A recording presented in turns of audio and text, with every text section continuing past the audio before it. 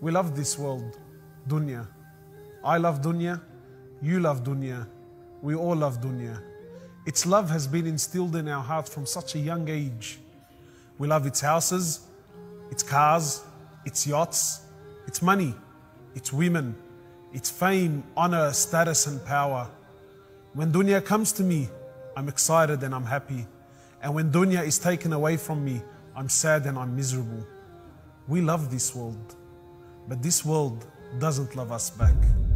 You can give this world everything you have, and it'll take it and give you nothing in return. Allah, the creator of this world, the one that knows it for its true colors, Allah says, and what is the life of this world? Except it is the enjoyment of delusion, deception. We think these toys bring us happiness. It's not real. Happiness is not how much you have, rather, it's how much you can live without. We think that by gaining all of these pleasures and these toys, that we're going to reach contentment. Our Prophet has told us, sallallahu alaihi wasallam, that nothing will satisfy the hunger of man in his quest for this world. Nothing will satisfy our hunger except what? Except the dirt. Meaning that when we enter our grave, only then will we be truly satisfied. Our Prophet has told us that if man had, if the son of Adam had a valley of gold, guess what? He would wish he had another one. You know, death once asked life, he said, Why does everyone love you, but yet they hate me? So life responded and it said, Because you, death, you are a painful truth, while I'm, I'm a beautiful lie.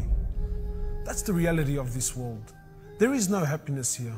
You will never find true contentment in this world.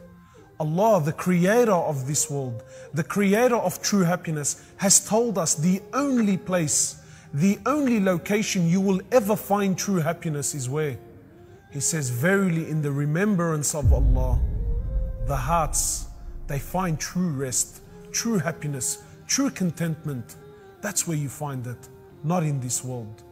And He's also told us the opposite in the Quran. Allah subhanahu wa ta'ala says that whoever stays away from my remembrance, whoever stays away from my faith, from my way, from my path, whoever stays away from it, guess what?